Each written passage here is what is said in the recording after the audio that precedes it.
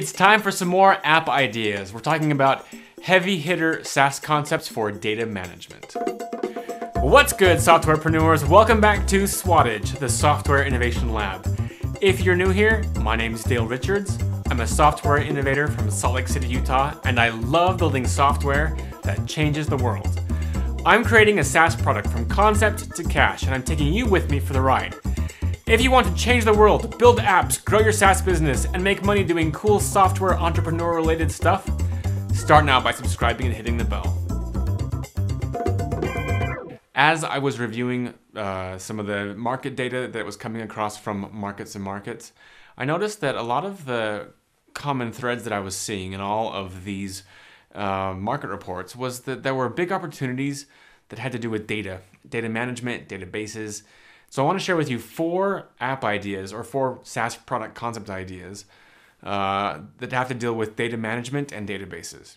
These concepts are not for the faint of heart. These are not um, simple apps for the consumer, basically. This isn't the kind of app that basically you know your friend is going to download from the app store and use on his phone to play a game.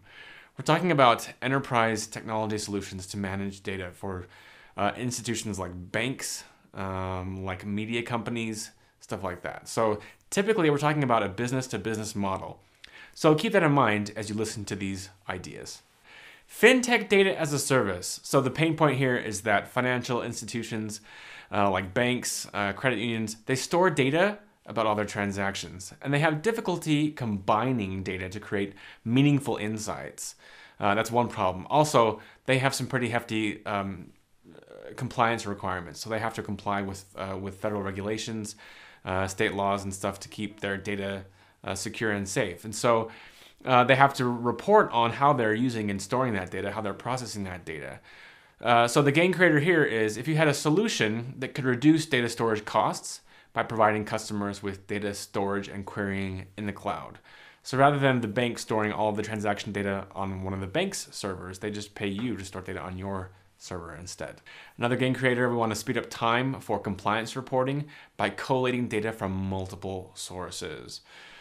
Uh, so this is not just like, hey, store the data in the cloud. It also has to do with, okay, well, how are we enabling the customer to query the data? So that bank, are we giving them tools to link data together and to draw meaningful insights from that data?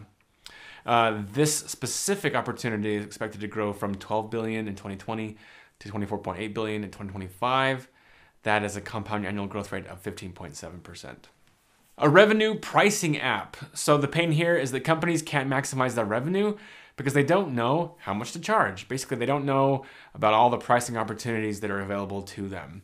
So a SaaS solution that could create gains for a client like this um, would mine internet data to provide personalized pricing and tailor products for customers depending upon their attributes.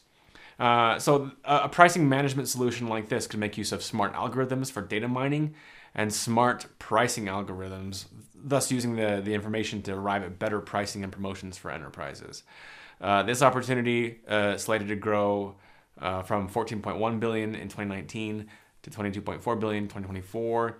That's a compound annual growth rate of 9.6%. That's not the greatest, not not as big as some of the other ones we're going to look at, but but still, there's some opportunity there. Product info management app. So we're talking about companies that have a lot of products they need to sell. They need to have data about those products. Uh, and in a lot of cases, they don't even have the right data in the right places. Like maybe they've got multiple data tables, the data's not syncing, they don't really know what they have to sell. So, for example, sellers of digital multimedia assets. So, think like Hulu, Netflix, uh, anybody who's selling like um, data, like video rentals or or video purchases, like streaming video. They don't have the right tools to easily see everything that they have to sell. Uh, there are data inconsistencies that make it cumbersome to bring new products to market. So the gain creator here is to improve synchronization and publication of information about product attributes. So data about media clips, sound recordings, images, text files. Uh, if we could have a product info management app that could guide the company into having better data, more synchronized data across their different data silos that could help companies know, hey, we have all the stuff that we could be selling. Let's go ahead and sell it. This opportunity expected to grow from USD 7 billion in 2019 to 11.4 billion by 2024. That's a 10.2 compound annual growth rate. And number four, encryption software as a service. So the pain point here is that companies, they have to store a lot of data, that data is lost or stolen. They also have heavy burdens to comply with data security requirements. And also customers, like their customers don't feel safe with their data vulnerable to uh, cyber attacks and stuff like that. So the gain creator here is that encryption keeps the data safe until the data owner finds it again. Uh, or the customer personal data is kept private. And companies don't have to worry about their own data security. So you provide them with uh, an encryption as a service software solution. Uh, they buy your service, you encrypt the data for them, and they don't have to worry about that.